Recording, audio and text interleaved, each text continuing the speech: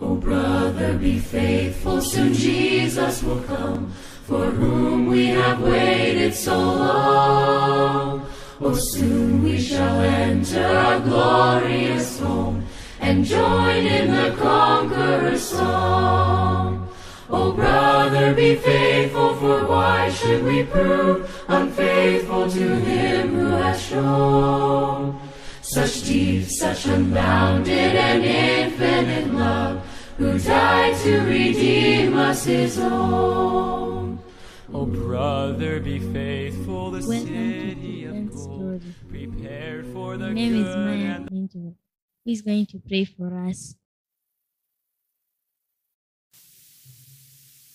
Hello, guys. Welcome to Children's Children's Sabbath School. And who is going to pray for us? Let's pray. Oh God, we first present the precious blood. Please pray for us because in Jesus' name I pray. Sabbath school lesson, we are going to sing one song. Welcome.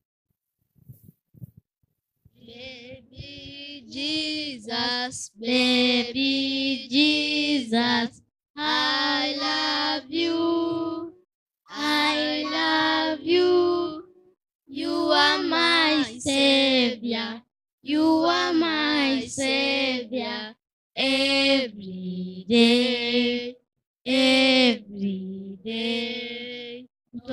Yesu, mtoto Yesu, nakupenda, nakupenda. Wewe ni mwokozi, wewe ni mwokozi wa kila siku, wa kila siku. Okay.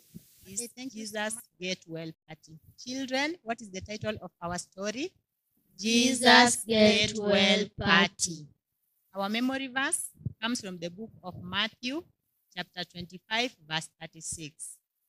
Matthew, chapter 25, verse 36. And Mark will recite it for us.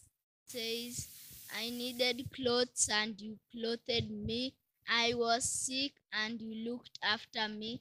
I was in prison and you came to visit me. Amen. Amen. Title of our story I was sick and you looked after me. What does it say, children? I was sick and you looked after me. So Jesus had spent a whole day teaching crowds of people. As we know, Jesus used to teach crowds of crowds of people, and a lot of people used to surround him so that they can listen to the word of God, the word of God. And after teaching them the whole day, Jesus uh, got tired and he isolated himself and went to Peter's house. Where did Jesus go, children? To Peter's house. The Bible does not tell us the reason as to why Jesus went to Peter's house. Maybe he was tired and he needed to rest. Maybe he needed to take a nap. Maybe he went there to take lunch. Or maybe he had some other reasons why he went there and we, are, we, don't know. But maybe it is because of the all these reasons that I've mentioned. That's why Jesus went to Peter's, Peter's House. house. So when Jesus got at Peter's house, there was a problem there. There was what in, in Peter's house, children? A problem. there. Peter's mother-in-law was sick. Who was sick? Ma- Peter's mother-in-law. mother-in-law. She was very sick. She had this high fever, and this high fever could not go. A lot of people tried to come to come to heal the, the mother-in-law, but they could not. The fever still remained so high, and uh, she was so tired. She could not even wake up. She could not manage to do anything, and she all, always lied down because she had no energy to do any anything. So Peter was worried. He was so worried and uh, he wondered, what can I do? Because my mother-in-law is so sick and I can I cannot do anything to help her. So Peter decided, I have a friend, Jesus. And he decided that I'll go and request Jesus to come and help me to heal my mother-in-law. So Peter went to Jesus. He told Jesus that uh, his mother-in-law is so sick and he has high fever and there's nothing he could do to help her. So Jesus said, yes, I'll go and help you. So Jesus went to Peter's house, and sure, for sure, the, the mother-in-law was so sick. She lay down there on the bed. I think the picture here. You can see this is Peter's mother-in-law. She's so sick, and she's lying down, down. She's so sick and the fever is too high. The fever is too high. Who among you has ever gotten sick? Okay, I can see all of you has ever gotten sick. And how did it feel? It felt bad. It felt so bad. You have high fever. You could not even eat. You don't even feel like taking water. You, you, you, you feel so tired and so weak, so weak. So that is how the, the mother-in-law to Peter was feeling. And because of that, Jesus decided, I'm helping you. And Jesus looked at the woman and uh, he smiled. He smiled at the woman and uh, he commanded the fever to go away. And immediately, children, the fever went away. And when the fever went away, the woman got well. She she she she stood up and she was energetic and the fever's gone and now she's feeling so so strong, so strong. And she was so happy that Jesus did what? Healed her. And she decided, I'll go to the kitchen, I'll prepare meal for, for Jesus and the other guests who came to Peter's house. You see, you see the miracles of Jesus. Hmm? He, he healed the woman instantly. And the energy came back and the fever went up, went away. So she went, she prepared meal for Jesus. And because of that, other people heard that Jesus brought a visitor in his house, and this visitor healed people, uh, healed the mother-in-law. And this word went over and over. One person told the other, the other one told the other one, the other one told the other one, and the message spread all, all over the village. So because of that, people came. People came to Peter's house. If, if, uh, if uh, Peter has a friend who was healed, uh, his mother-in-law, I will go there. Someone who had somebody who is sick, or, or people were sick themselves, others came to witness. They came to Jesus' house, and there was a suddenly there was a big line in Peter's house waiting to, to, to see Jesus for healing. So all those people came. Jesus healed them one by one, one by one, healed all of them. He didn't even get tired to heal them. We healed them over and over and over the whole day from morning until until evening. So those people, all of them, they were healed. And they were astonished. They were so happy because of what Jesus did. And uh, because of that, all of them, Jesus was so happy that he was able to heal all of them. So this uh, story gives us a moral lesson that if we have sick people around us, what should we do, children? When we have people, sick people around us, what should we do? We should pray for him Yeah. her. Maya says we should pray for, for them. Another one, what can we do to sick people? We can help them. Mhm. We can help them. uh Hadassah, what can we do to sick people? And then We can help them as Hadassah as what? As said, for sure. So we can we can bring them water, we can bring them food, we can uh, help them, we can gi- keep them company, and more. And the most important of all, we need what we need to do is to pray for to pray for them, as Jesus did to the mother-in-law to to Peter. Okay, children. The most important thing is to do what? To pray for pray for them, as Jesus did what? As Jesus prayed for killed the, the mother-in-law to, to Peter. Okay, children. So that is the end of our story today. And uh, before we finish, we'll sing one song. After that, uh, Maya will close us with a word of, of prayer. Forward, lean Backwards to the left, to the right.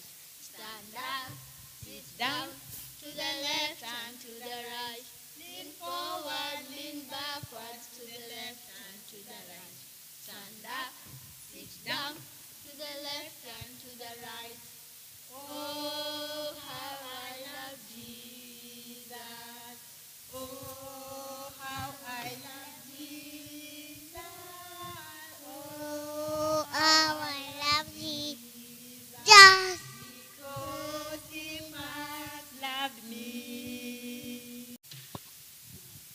Oh God, we thank you for this day. We thank you for our life.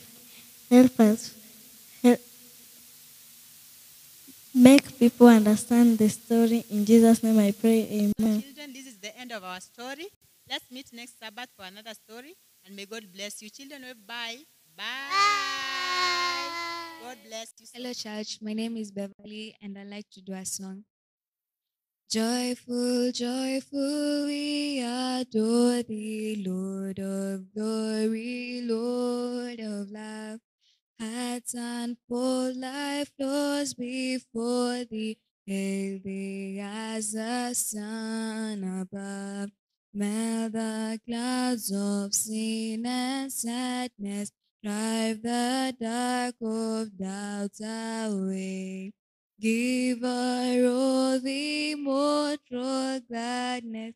Fill us with the light of day. Thou art giving and forgiving, ever blessing, ever blessed.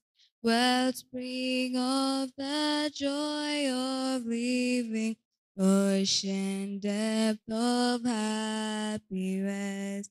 Thou the Father, Christ the brother, all who live in love and thine.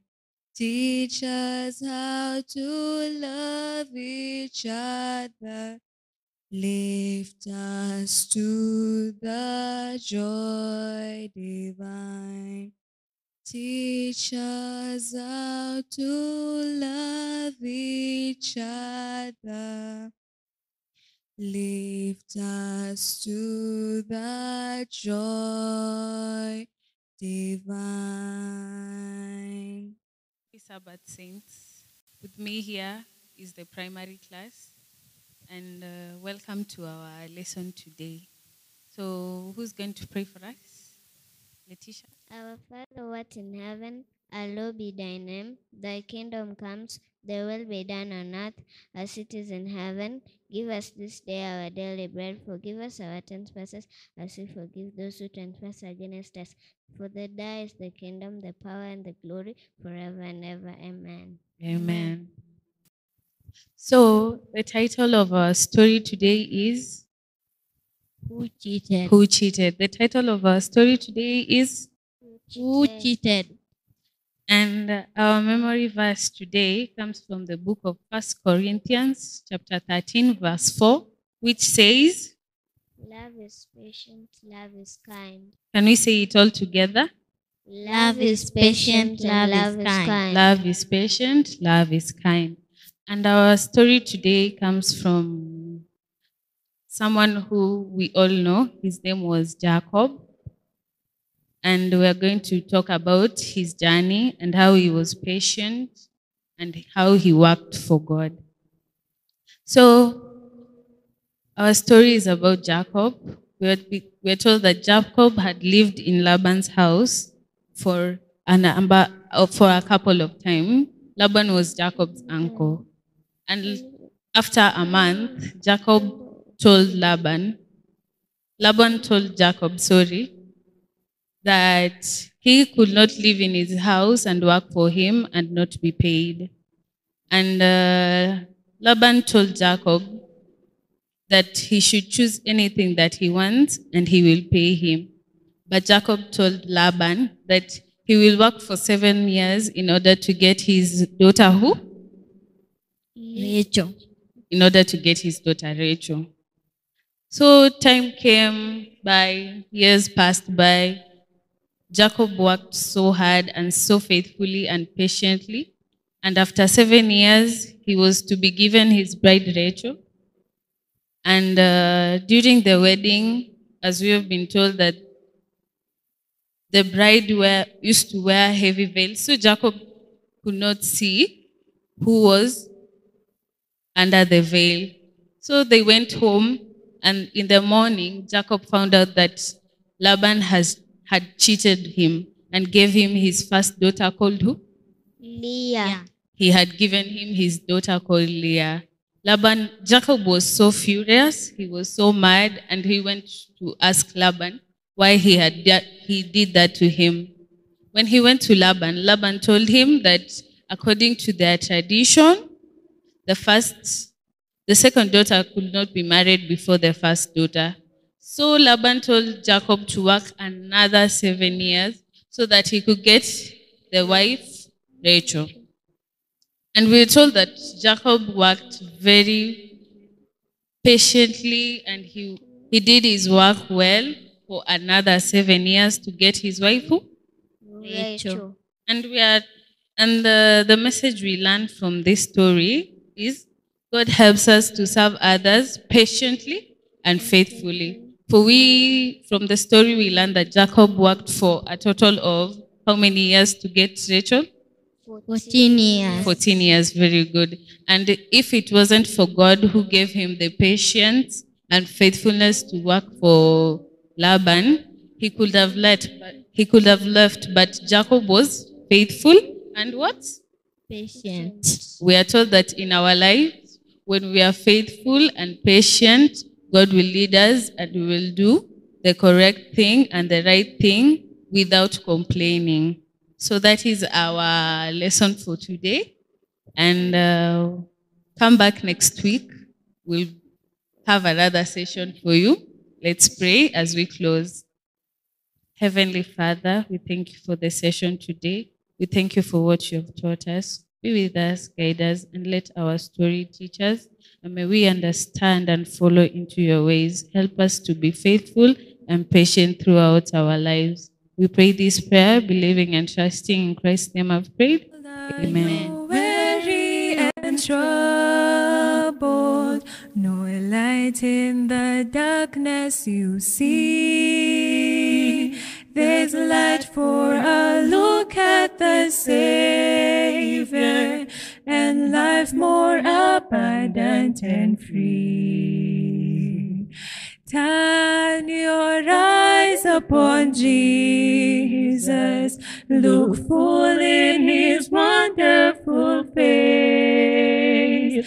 And the things of earth will grow strangely dim in the light of his glory and grace. Through death into life everlasting, he passed and we follow him there.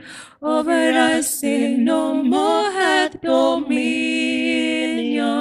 for more than conquerors we are. Turn your eyes upon Jesus. Look full in his wonderful face. And the things of earth will grow strangely dim in the light of his glory and grace. His word shall not fail you, he promised. Believe him and all will be well. Then go to a world that is dying, his perfect salvation to tell. Turn your eyes upon Jesus. Look full in his wonderful face. And the things of earth will grow strangely dim in the light of his glory and grace. In the light of his glory and grace. Hello guys, this is PowerPoint class. My name, my name is Joseph Bolo. Let us pray. Almighty Father, we thank you for this day that you have given us. Thank you for our parents, teachers, and everyone. Just those who are. In Jesus' name I pray, amen. Amen. So, Joseph, what is the title of our lesson? The title of our story is Death by Deception. Okay, that's wonderful. Joseph, tell me more about that story. It was time of King's Wars when David's soldiers were fighting the Ammonites while David stayed at Jerusalem. One day, David went up on his roof at the palace. Then he saw a woman. Then he sent one of his servants to go and ask more about her. When the servant came back, he told David that that woman is called Bathsheba, the wife of Uriah. David spent more time with Bathsheba at the palace. One day, Bathsheba told David that she was pregnant. Then David knew that he was in a very big problem and committed adultery. So he told, sent a message to Joab that Uriah should come back from the battle.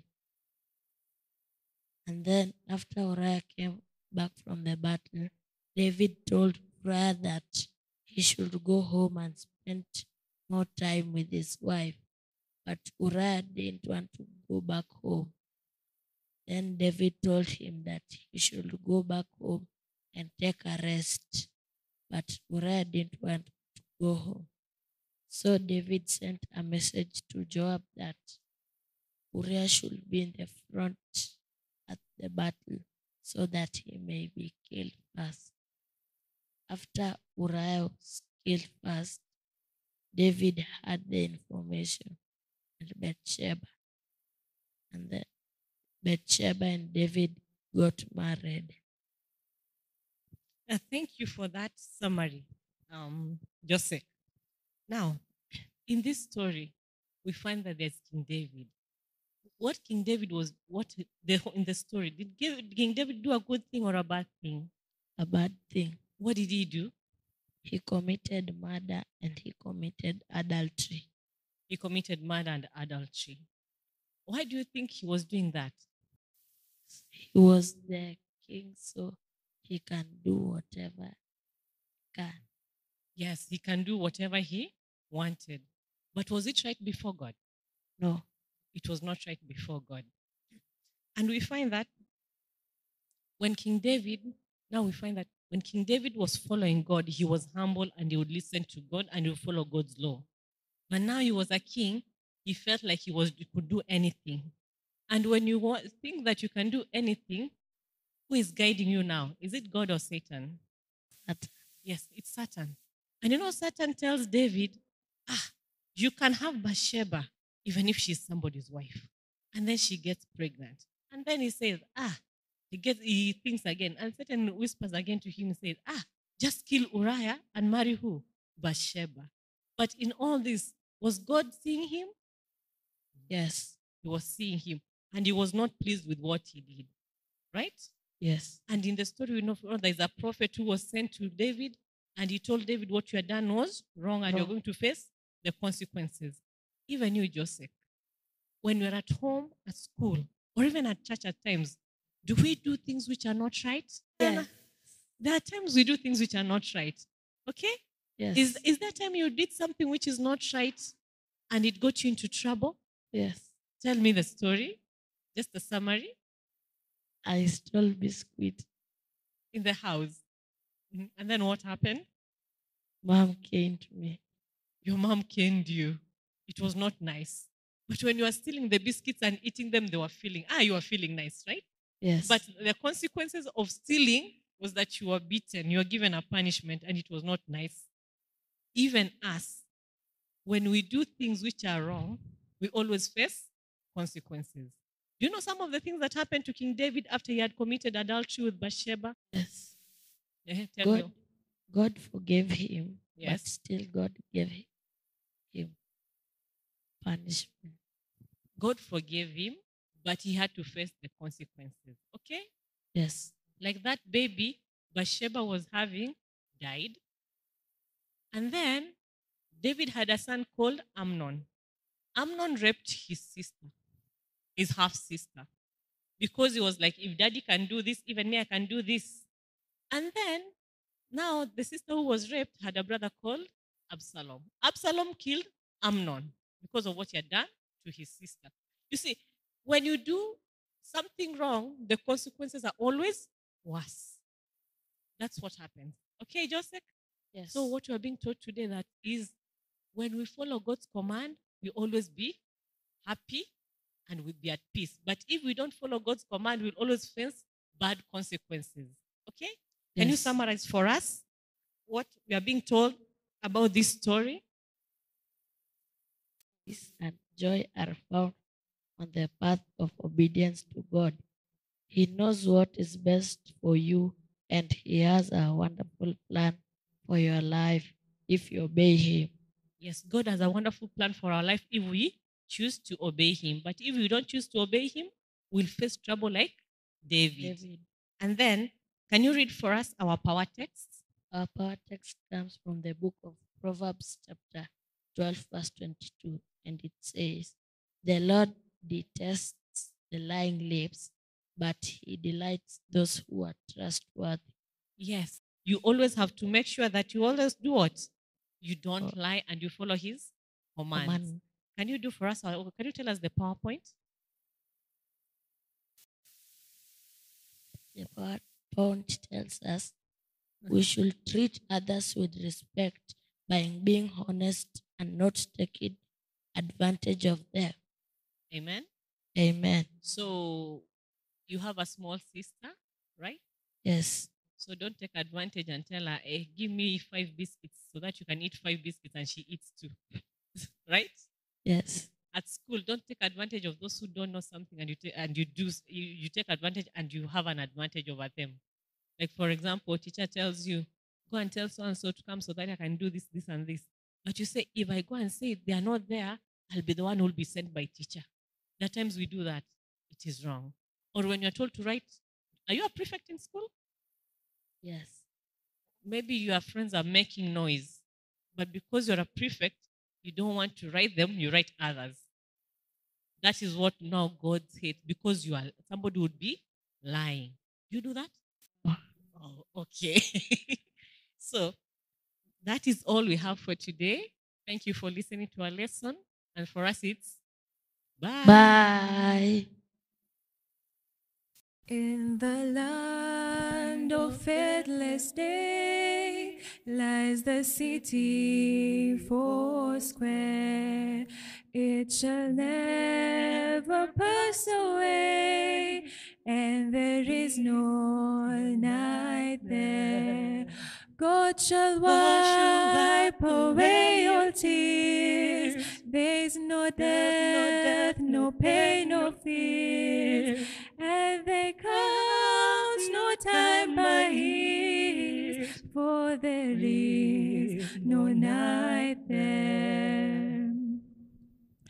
All the gates of pearl made in the city four square. All the streets with golden laid, and there is no night there. God shall wipe away all tears. There's no death, no pain, no fears, and they count no time by years, for there is no night there. And the gate shall never close to the city four square.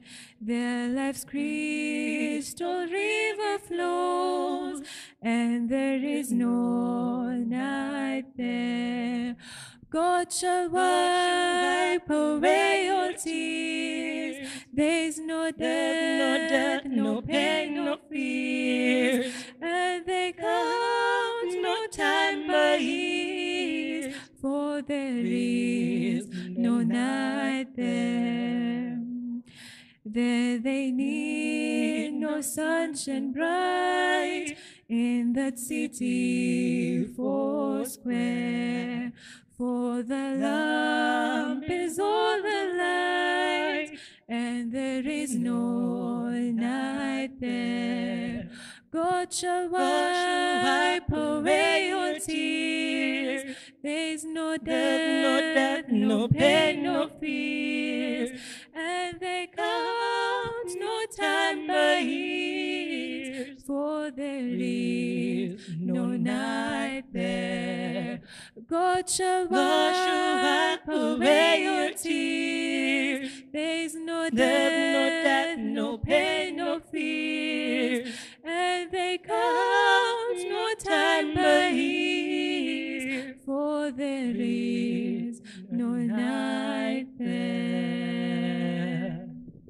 Hello, viewers. Welcome to our real time faith class. Before we start, Beverly will play for us. Let's pray. Thank you, God, for this that you have given us. As we are going to start our lesson, may you guide us with the understanding. For this is my humble prayer in Jesus' name I believe and pray. Amen. Amen. today is Bible study and prayer. Our memory text comes from the book of 2 Timothy 3, verse 16 to 17, and it says, All scripture is inspired by God and is useful for teaching the truth, rebuking error, correcting faults, and giving instruction for right living.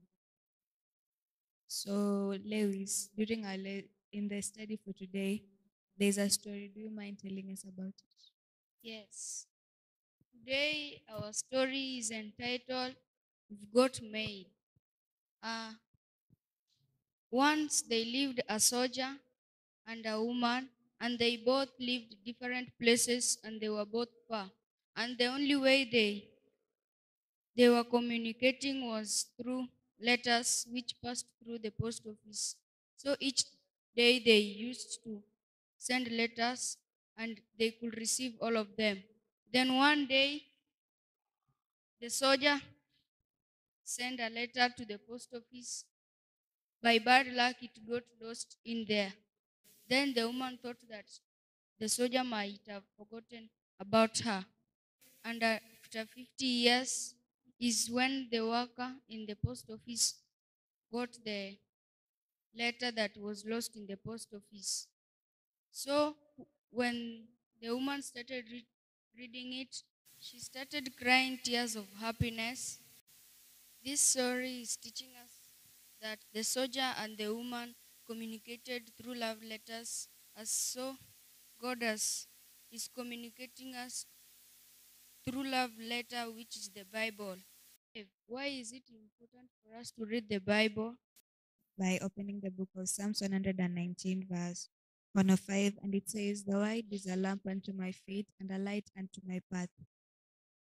So we can say that by communicating, when God is communicate, communicating to us using love letters, which is the Bible, it, it is trying to teach us the moral that without God we cannot stay or live without His teaching because the world is full of sin. After his righteousness, he will honor and request as he sees his best. Amen. So let's open the book of Proverbs 30, verse 5. And it says, God keeps every promise he makes. Is like a shield for all who seeks his protection. Amen. I can add that you need to spend time communicating with God in order to keep the relationship alive. You need to take time regularly to nurture the relationship. Friends who do not see each other communicate through letters, phones, call, phone calls, emails, and other ways. How is your communication with God? Are you reading the Bible? His letter for you? What is your res- response to God as you pray and study the Bible? The more you spend time with God, the more you get to know His will. The natural outcome will be that you will want to be more like Jesus, and your prayers will be expressions of your trust in God. The fact that He will never stop loving us is right there in His Word. In summary, the Bible is full of messages for you, not simply to tell you what to do, but to encourage you and strengthen you. You can read that from Romans 15, verse 4. There is a message in scripture reminding you that you are God's child in it's in there. You just have to study, and as you do, God's word will change you. That's why we take Bible study and prayer as our lesson today. Amen. Amen. So that's all we have for you today. Till next time. Bye. Oh, Jesus love, sing of him, sing of him who first loved me, how he left, For he left right worlds above, and died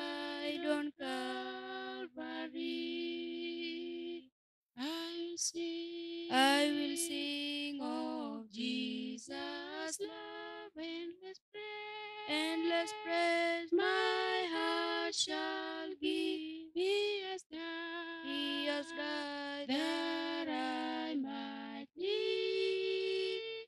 I will sing His love to me. Oh, depths of love divine, Ator Ator heaven heaven can can never know how the how sea that seems as dark as mine can be made as white as snow. I will sing. I will sing of Jesus' love, praise my heart shall give. He has died. He has died that I might live. I will sing His love to me. Nothing good, nothing good for him I've done. How could he? How could he such love bestow? Lord, I owe. Lord, I owe My heart is warm. Help me now, my love to show. I will sing. I will sing of Jesus' Jesus' love, endless praise. endless praise. My heart shall give. He has died. He has died that I might live. I will Sing His love to me.